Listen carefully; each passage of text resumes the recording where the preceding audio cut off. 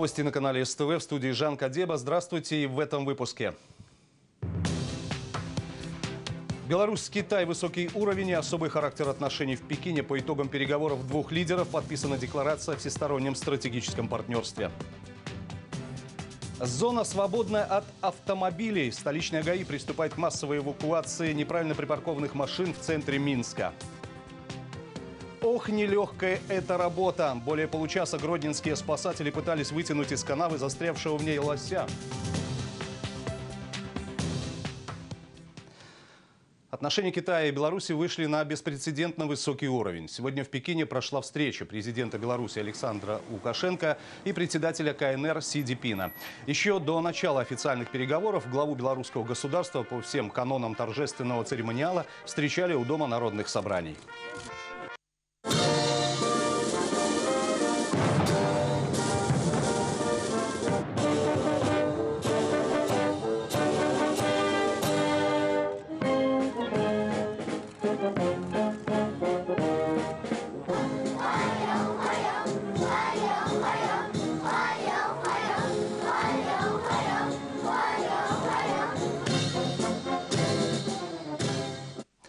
Затем лидеры двух стран удалились на переговоры в узком составе. Главы государств общались около двух часов вместо запланированных 45 минут. После к ним присоединились остальные участники делегации. В ходе разговора в расширенном составе были затронуты практически все направления сотрудничества. Стороны подчеркнули, что отношения двух стран неуклонно развиваются. Александр Лукашенко предложил выработать новую дорожную карту сотрудничества, поскольку страны выходят на очередную ступень в отношениях.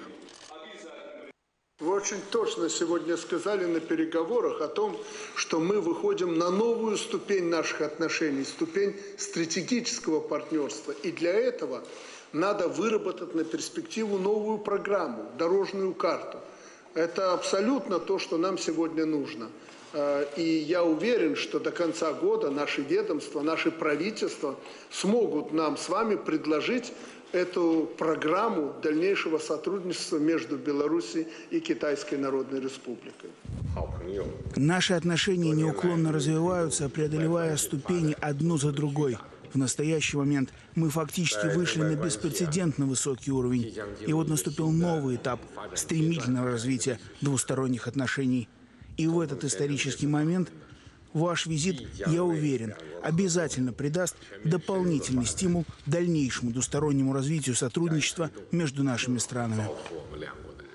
Намерение продолжать укреплять сотрудничество по всем направлениям стороны закрепили подписанием совместной декларации. Этот документ будет определять характер дальнейших отношений между государствами.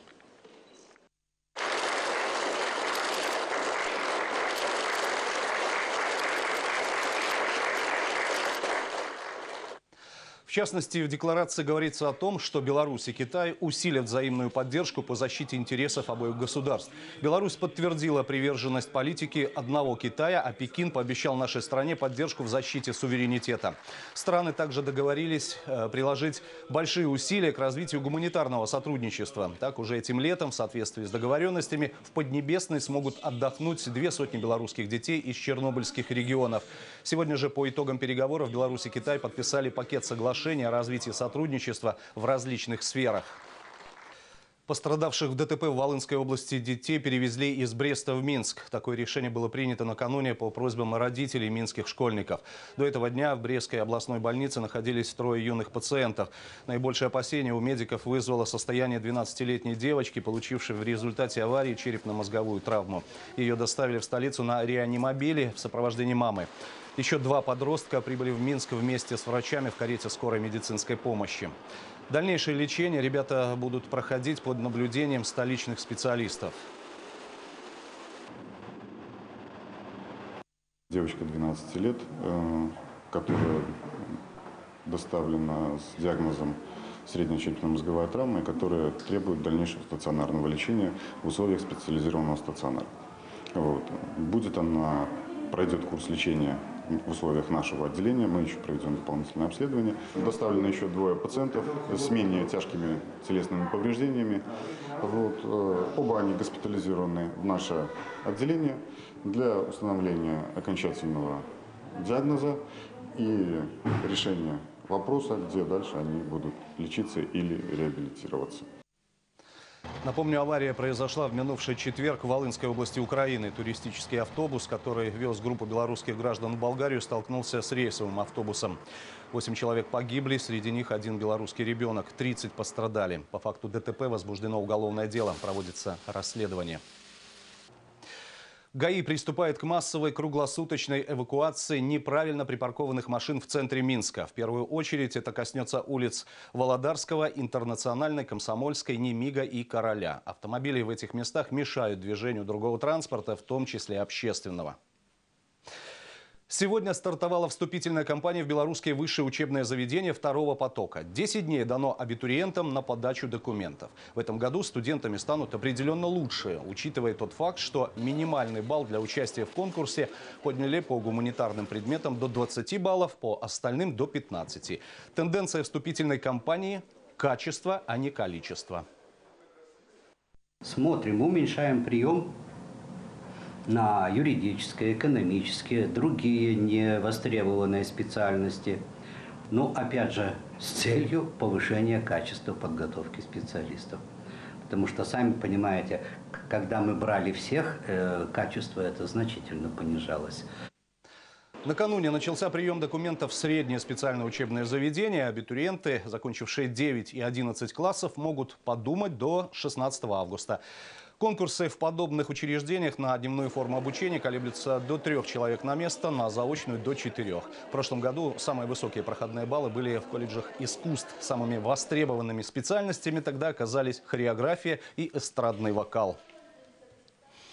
В Витебске накануне торжественно закрылся славянский базар. На сцене летнего амфитеатра наградили победителей детского и взрослого конкурсов «Витебск-2013». Обладателем гран-при стали Присяна Димитрова из Болгарии и поляк Михал Качмарек.